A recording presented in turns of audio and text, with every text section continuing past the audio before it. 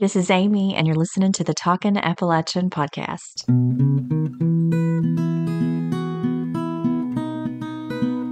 Hi, everybody. I hope that you're staying warm in the middle of the steep freeze. And if you were in the snowstorm path, that you are okay and you've got your soup and your cornbread and you're able to enjoy some time by the fire. This is a good time, by the way, to catch up on your reading. And I've got a great author for you, Rick Bragg.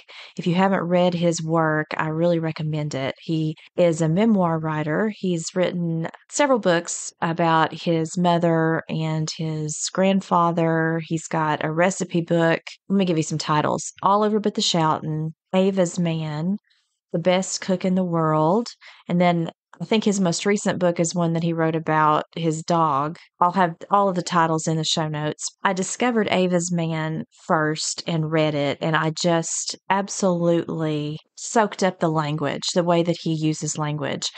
And to tell you how good he is with language, he won the Pulitzer Prize for journalism when he was at the New York Times.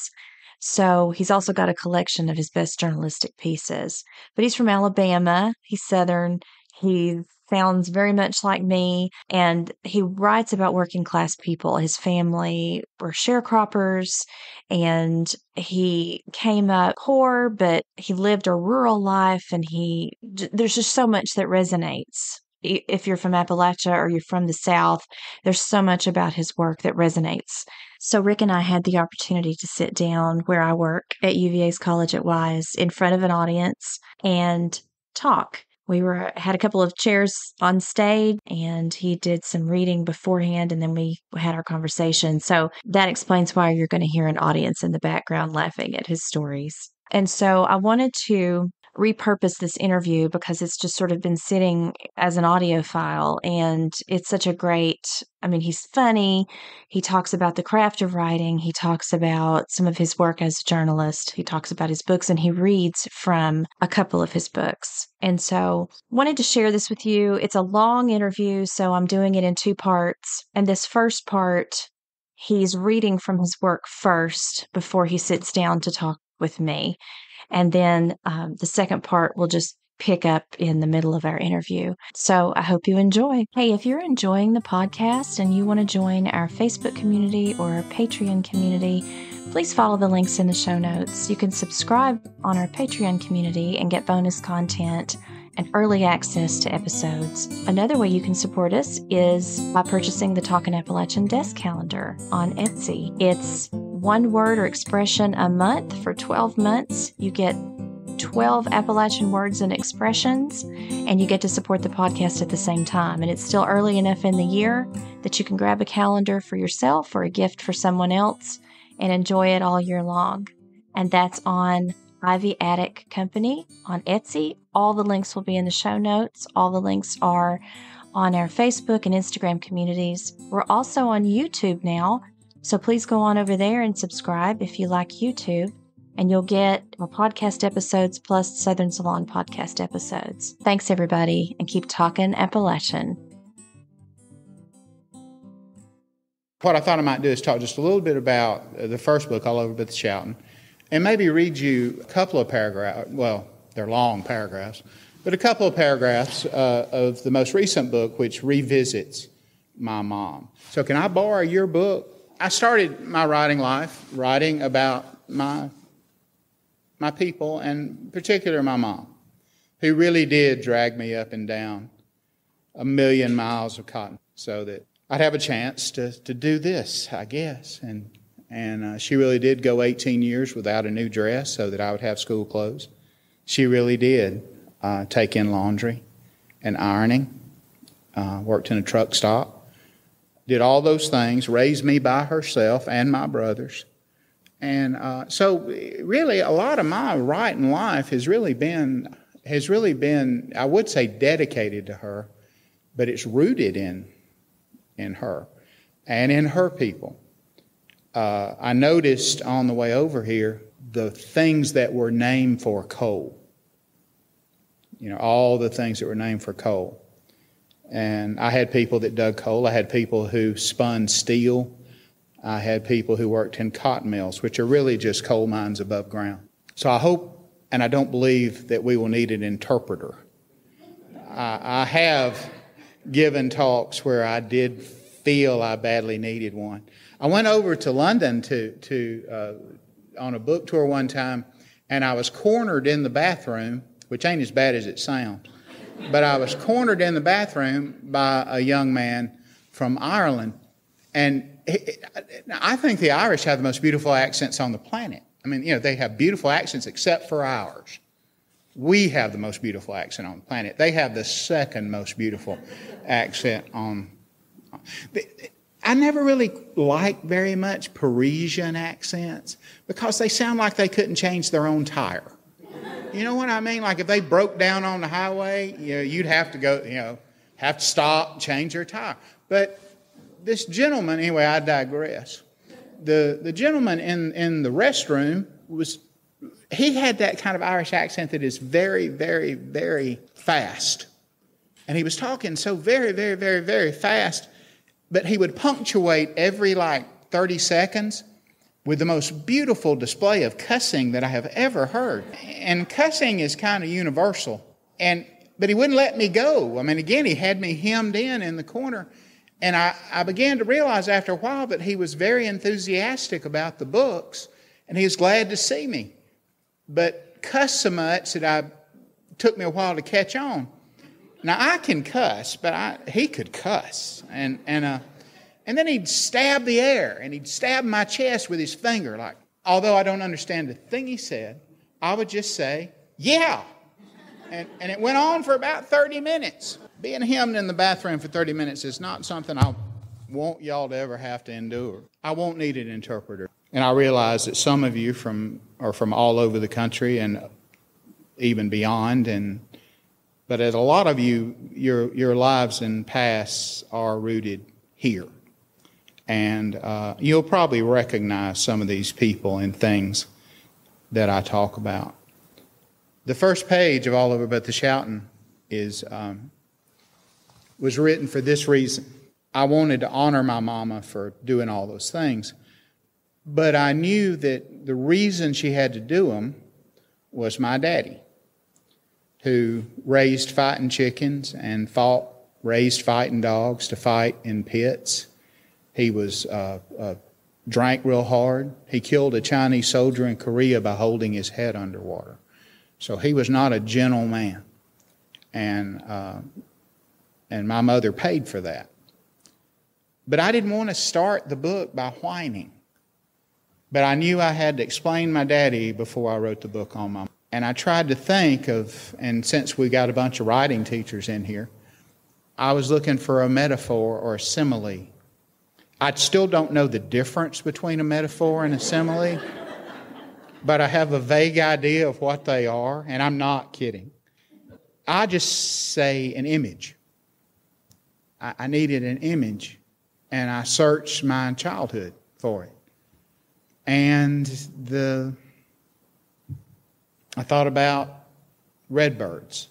I know y'all have cardinals here, but we just called them redbirds. And so I wanted to use that metaphor or simile, whichever the hell it is, as a, you know, as, as my way into it. And one scene kind of has always stuck in my mind. So we began it with I used to stand amazed and watch the redbirds fight. They would flash and flutter like burning rags through a sky unbelievably blue, swirling, soaring, plummeting and on the ground they were a blur of feathers stabbing for each other's eyes. And I've seen grown men stop what they were doing, stop pulling corn or lift their head out from under the hood of a broken down truck just to watch it. And once, when I was little, I saw one of the birds peck itself to death in the side mirror of a truck, hurling itself against that unyielding image until the glass was cracked and smeared with blood. And I asked a, a man who worked for my Uncle Ed, an old snuff dipping man named Charlie Bivens. I said, Charlie, why do you reckon that bird did that? And he told me it was just its nature. And that was my daddy. You know, he hated what he saw, and that was just his nature. And um, it seemed to work really good until I did a talk at Sewanee, and the entire senior class stood up and said, What was that about? And uh, I had to explain it. Uh, and it didn't have anything to do with where we were. It just occurred to me that that I hadn't done a really good job necessarily of building that bridge. Or maybe I hadn't done a really good job of building that bridge for folks that had not lived those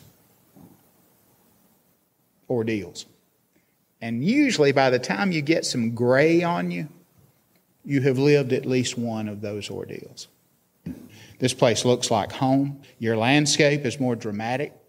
It may be one of the prettiest places I've ever seen. And I've seen a camel train walk across the desert in Central Asia, and I've saw a voodoo priest in Haiti try to turn me into a goat, which, as far as we know, was unsuccessful. But you know, in a lot of horror movies, when you see, you know, it's you know, you think you're safe and you get through life, and then one day you're just a goat. And I've seen a bull elephant in Africa, you know, chase a whole bunch of people, including me, uh, and I might have climbed a tree. I've seen some, some wondrous things, but, but this is a truly beautiful place. And to know that the ground underneath in so many communities here is honeycomb with people who gave their life to digging that coal out of the ground makes me feel very much at home, and, and I appreciate it. My mom got sick, and um, she had cancer, and, and I was terrified that we would lose her, and we didn't lose her. She beat it, survived even two and a half years of chemo, and it's right now throwing sticks of firewood at my dog because it has eaten all the cat's food. She's not a very accurate thrower, so the dog is not in any real peril, but he's only got one eye. He's got a beautiful blue eye, which he cannot see out of, and a brown eye that he can see out of. And even if you can't hit a bear in the ass with a handful of sand, you, the chances of her blinding him are fair. Uh, and I can't get it through to her.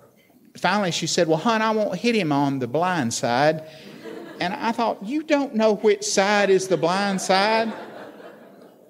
But uh, I was afraid uh, at one point, about three years ago, that that we were going to lose her. And the most terrified I was was when uh, uh, she was in the hospital and I was uh, assigned the task of going home and getting her a change of clothes.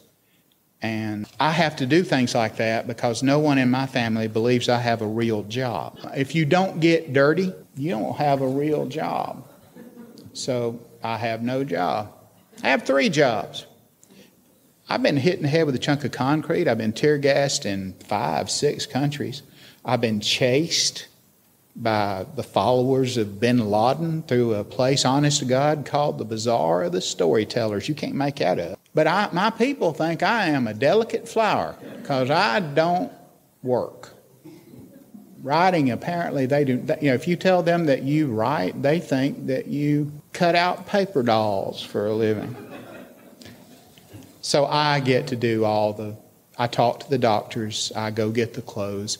I have the night shift in the hospital, you know, sitting with mom because, why? Because I don't ever have to get up in the morning and go to work. I have no job. But I walked into that house to get those clothes that one day, and uh, I went in through the kitchen, and it was just wrong. Because kitchens in my mother's house smell like pinto beans and ham, crackling cornbread, stewed squash and onions. It has that clean smell of bacon biscuits and fresh cut cantaloupe. Because we do eat healthy down here. But we eat our cantaloupe with sausage gravy and biscuits. But none of that was there. She had been in the hospital for months, and, and I thought when I walked in that it was just wrong. It, it smelled like uh, lemon scented dishwashing detergent. And it smelled like, uh, y'all know that smell that an old iron skillet has? Old iron gone cold. Broke my heart. So we began to talk about food. And I wanted the recipes, but there was a problem with it. She didn't have any. She had she had cooked all those years without one written word. Since she was 11 years old, even if all she had to work with was neck bones, pepper grass, or poke salad, she put good food on a plate. She cooked for dead broke uncles, hungover brothers, shade tree mechanics, faith healers, dice shooters, hairdressers, pipe fitters, crop dusters, high steel walkers, and deep well diggers. She cooked for iron workers, Avon ladies, highway patrolmen, sweatshop seamstresses, fortune tellers, coal haulers, dirt track daredevils, and dime store girls. She cooked for lost souls stumbling home from Aunt Hattie's beer joint and for singing cowboys on the AM radio. She cooked in her first 80 years more than 70,000 meals as basic as hot buttered biscuits with pear preserves or muscadine jelly, as exotic as tender braised beef tripe and white milk gravy. In kitchens where the only ventilation was the banging of the screen door. She put, cooked for people she just as soon poisoned and for the loves of her life. She cooked for the rich ladies in town, melting beef short ribs into potatoes and hot Spanish onions. Another woman's baby on her hip, and sleepwalked home to feed her own boys home canned blackberries dusted with sugar as a late night snack. She pan fried chicken in Red's barbecue with a crust so crisp and thin it was mostly in the imagination, and deep fried fresh brim and crappie and hush puppies redolent with green onion and government cheese. She seasoned pinto beans with ham bone and baked crackling cornbread for old women who'd tugged a pick sack, and stewed fat spare ribs in creamy butter beans that truck drivers would brag on 3,000 miles from home. She spiked collard greens with cane sugar and hot pepper for old men who'd fought the Hun on the Hindenburg line, and simmered chicken and dumplings for mill workers with cotton lint still stuck in their hair. She fried thin apple pies and white butter and cinnamon for pretty young women with bus tickets out of this one horse town, and baked sweet potato cobbler for the grimy pipe fitters and dusty bricklayers that they left behind. She cooked for big haired waitresses at the Fuzzy Duck Lounge, shiny eyed pilgrims at the Congregational Holiness Campground, and crew cut teenage boys who read comic books beside her banana pudding then embarked for Vietnam. She cooked most of all to make it taste good, to make every chip melamine plate a poor man's banquet, because how do you serve dull food to people such as this? She became famous for it, became the best cook in the world, if the world ends just this side of Cedartown. But she never used a cookbook, not in her life. She never cooked from a written recipe of any kind and never wrote down one of her own. She cooked with ghosts at her sure right hand, and you can believe that or not. The people who taught her the secrets of Southern blue collar cooking are all gone now, all of them. And most of them did not even know how to read and write. Every time the old woman stepped from her workshop of steel spoons, iron skillets, and blackened pots, all she knew about the food left with her, in the same way that when a bird flies off a wire, it leaves only a black line on the sky. Thank you. Thank you. It's an honor to sit here and, and be able to talk with you about writing and good food and Appalachia.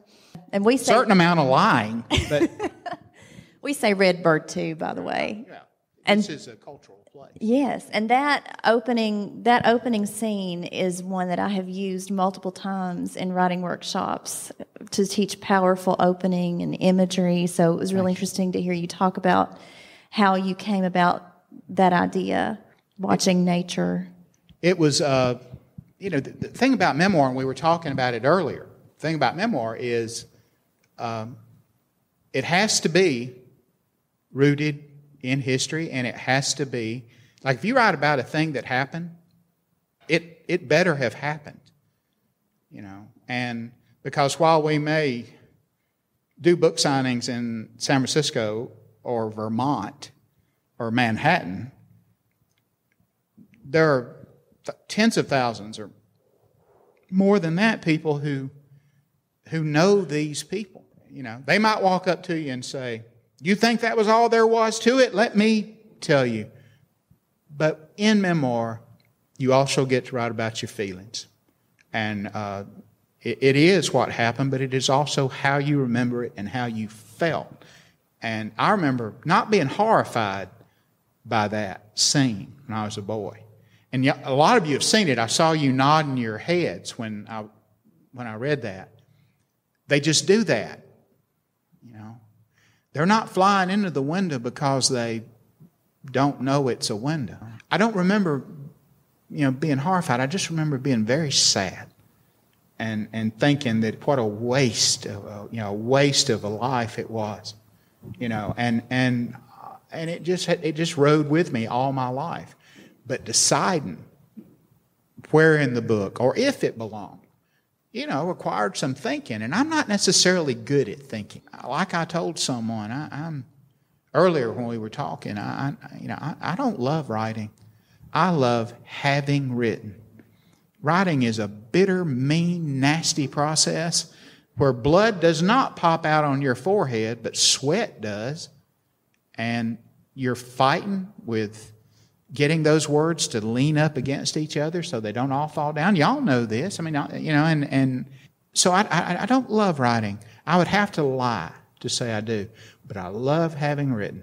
And I love talking to people after the fact. Like today, I love I love knowing that we have a record of those people who, who went underground, you know, who worked in blast furnaces and half cooked themselves. You know, uh, my uncles used to roll their sleeves up because they worked in, we called it the pipe shop, but it was U.S. Steel. They worked with molten steel. And they'd roll their sleeves up and you could see the scarring on their forearms.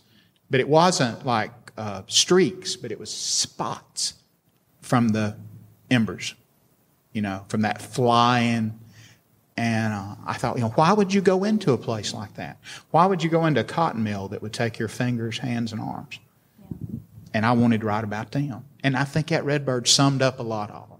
No, I was just thinking, you know, it's a tricky thing to write about the South. It's a tricky thing in particular to write about Appalachia. It's not easy. Why do you think I mean, I say it, your, your writing is exceptional, but why do you think people from everywhere resonate with stories set in Appalachia? And, and so much, I mean, the dialogue, you capture voice so well and you, you write, you can really hear the voice. Why do you think that resonates? I, hate, you know, I've said this before and I, and I say it with a straight face, although it always gets a, I'm not sure people realize I'm being serious. We're just more interesting than most people. I mean, we, you know, uh, you know, my, my, my daddy was not manufactured. Faulkner didn't make my daddy. You know, the world did. How do you, I went down into the Jim Walter mine in North Alabama, and um, it was the deepest mine at the time, one of the deepest in the country, and and uh, you know, I, I, you're surprised by things underground, and one that it was all white you know, the lime that they, you know, we put the, you know, and, and, uh, and, you know, you'd ride on that trolley and you'd have to lay flat or into the lap of the man behind you to keep from knocking your head off. And, and once you got underground, it dawns on you, hell, I'm underground. and to do that every day, but to have done it when our grandfathers did it, you know, to, to go underground with an open flame you know, and, and shored up by hope, you know, showed up by hope and maybe prayer. Um, you know, but my people also, you know, they, in those cotton mills, they survive in a shift with your fingers, hands, and arms was a victory. Women had their hair pulled out of their heads, and they were all Church of Christ, Assembly of God uh, congregational holiness, so they wore long dresses and long sleeves and long hair, and it would strip the clothes from their body those machines would grab them. And, and I, but more than that, more than just the fact that they were interesting and just tougher. Tough is interesting. Whiny and puny is not. You know, people always look at me and they say, My God, you're a lot bigger than I thought you'd be. And I always say the same thing. Well, did you think I'd be like spindly? And because, you know, writers tend to run small. I mean, let's face it, they're a, often a very fragile looking bunch. I mean, usually the strongest thing on them, why, the, their, their tortoiseshell glasses are, you know, got more resilience in their bones, you know, and, and, but I'm not from them. If it's okay, I'll tell a quick story why we're more interesting. Uh, my Uncle Ed, I worked for him forever, and he was run over as a child. He had uh, both legs pieced together with bone, shattered bone, and steel rods. And he was the hardest working human I'd ever seen. He drove a bulldozer, drove a dump truck, worked with a pick and shovel on those legs, you know, those built up shoes. And, and my job when I was a little boy was to hold the chisel while he would swing at it with a, with a sledgehammer. And I did it until I got old enough one day to look up at him and to see this man in these oil stained khakis and this you know, Winston dangling from his mouth. I never saw him actually take it out of his mouth. He'd smoke it down to a piece of ash that long and and you know, grimy with sweat and and and I, I just one day it just occurred to me to look up and say, what if you miss? Because I'd have been crippled forever. And I'll never forget the look on his face. You know, he just looked at me and said, Well, son, I won't miss. and I it occurred to me that no matter what I do or where I go, I'm never going to be that much man. And I'll never be as much man as my mama was. I just think we're just by God more interesting. And and you know, we, our music. Anybody ever seen anybody you know play clawhammer banjo? Or my uh, grandma could wear out a banjo, but so could my grandfather. She was a savant. Listen to Jimmie Rodgers. Listen to him sing. And and you know, in five minutes you'll know why we're I think we're more interesting. And I guess the rest of the world's just gonna have to try real hard to catch up as anybody that knows me knows, I'm really interested in dialects and mm-hmm. language mm-hmm. and voice. Sure. Um, have you run into problems with readers or editors because you use such uh, authentic voice? Well, what I do is this: is is when it's in my voice, I try to. That's a good question. I try to to to. I try to hold to the rhythms and the cadences, but not always uh, the words. I think that the English language is a beautiful and elegant language, uh, lends itself to song, to, to music, and, you know, of course, literature. But most Yankee editors, and I got a brilliant one, I probably got the best Yankee editor since Max Perkins was editing Thomas Wolfe. But they are probably more comfortable with the South as a veranda South, as a Y'all know what I mean, you know, as a, as a white column mansion style. So sometimes if you overdo the words themselves or the cliches, then you sound, you run the risk of sounding corny. You run the risk of sounding like you just stepped off the set of Hee Haw.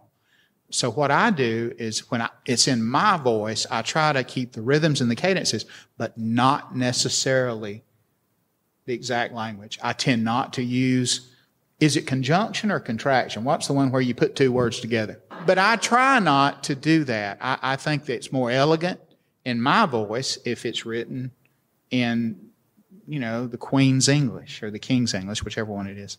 I'm not much on facts tonight, am I? I am just, uh, but they'll all go home and say, "Boy, that Rick Bragg, he he sounded good, but he didn't make a lot of sense." Um, but when I do use vernacular, I try to use it in quotes or where it is clear, and this gets right to the point. Where it is clear, even if it's not in quotes, it is clear that someone else is speaking, and and and the narrator, the narrator may be God or heaven or my Uncle Jimbo, but it's clear that, you know, and, and that way, the, the, like when I was reading about the kitchen earlier, there's very little vernacular in it. There's almost none in it. But believe me, if I'd read a paragraph further, you would have gotten the rich voice of, you know. I think it works so well in your work to bring your family to life. I think because you give them their voices. I mean, it just Oh, you. makes such a difference in the work. Well, they deserve it. Yeah, You know, they, they deserve it. I, I, it's like we were talking about before. Um, they just say things, and I and y- your people say the same things. You you know you know they do, but uh, for instance, um, and we said this earlier, but but so I apologize if uncle James recently died, and uh, he was ninety two, and he was the greatest liar that I believe, and this is accounting for a lot of Republicans, you know, but he was a great liar he was a magnificent liar. You know, he, he, he would tell you a story about, like, he told me a story about him and his daddy going on a coon hunt, and, and they got tired. More than likely, they just wanted to sit down and get drunk. But, but they were leaning up against a big log, and they set their lantern on the, the log and just listened to the dogs run, and certainly had a taste. After a while, they saw a, a light passing through the trees. And, and then they felt kind of the behind them felt the log shift like an earthquake or then they turned around and realized that it was not a log it, it was a snake a, a snake longer than this room maybe longer than a football field and and he told it to me you know and had me believing it because i was five you know and but he would also say things that were absolutely true. Like at the end of his life, he would go wandering through the cemetery, and he would. Uh, and I thought again, I, I I thought that was just so cool. You know that that it, maybe at the end of my life, I too will wander through the cemetery to see old friends, and maybe who knows, maybe their spirits are there, and maybe they you know, they speak to you. So, in a very gothic way, I was thinking, that's the coolest thing I've ever heard of. This old man wandering through the cemetery. And then I said, Uncle Jimbo, why, why do you do that? And he said, Because, son, that's where the widow women are. And he was serious. So they deserve it, you know? And I, I don't think I, you know, I don't want to be gothic myself, but I, I'll never live long enough to, to capture all that is there. People always say, why haven't you done a novel? Well, when I run out of their stories, I will, but I don't think I ever will. Now, I, I probably will try to do a novel, How do you decide? Do you ever decide not to include a story? oh yeah, And why? Because I remember there's a passage uh, when you were writing about your granddaddy, and you said that his daughters would never forgive you if you let his wings drag the dust. right. So you want to be truthful, but you don't want to romanticize. Like for instance, um, and we were talking about this earlier too. You, you in memoir, you get to say, but here's the thing: if you try to alter history or rewrite the past, they'll catch you. It will fail. And, you know, so the only real power you have is if there is a, a point or a story that does in no way affects the narrative, in no way affects the perception that people are going to have, is their heart going to be less broken or more broken because you didn't put it in? Is their respect, is their understanding going to be more or less? Then you have to put it in there. But if it is not greatly affecting the narrative, then yeah, you have the power to leave that little thing out. And um, I do think I got most of what I wanted to get in about him because the things that they were, like my Aunt Juanita said, I was in line at a book signing and there were 800 people in a theater and they decided to sign books beforehand. And the line was forever. My phone rings and it's my editor and she says, Your book's at number four on the New York Times bestseller list. And I thought, Well, happy day. And, uh, or seven. I think it was seven then. And, and I thought, Well, that, that's nice, ain't it? And then they're all here are all these wonderful people, and I'm just on top of the world. I'm just as happy as you can be as a writer. And it rings again. It's my Aunt Gracie Juanita, and she says, and believe me, cell phones were just now becoming, and it was her. And I said, Aunt Neater? And she said, How you doing? I said, I'm, I'm all right. I said, and I had not talked to her since the book had come out because this was like a week after it came out. So I said, What'd you think of the book? And she said, It's all right. And I said, uh, What was wrong with it? And she said, uh, Well, it seemed like all you had daddy doing was making whiskey. And I said, Well, he, he made it for 30 years. she told me the stories. And she said, Well, yes, hun, he did make it for a long time, but he never made very much at one time.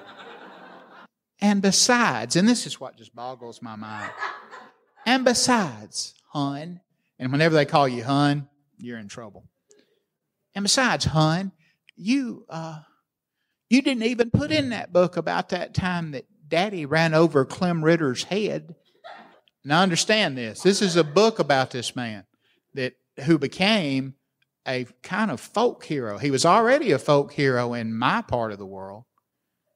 But all of a sudden, he's a folk hero in, you know, Massachusetts. He's a folk hero in suburban San Francisco. And now I'm hearing, I mean, with his face staring back at me from this gigantic stack of books, that he committed vehicular homicide and they did not bother to tell me about it.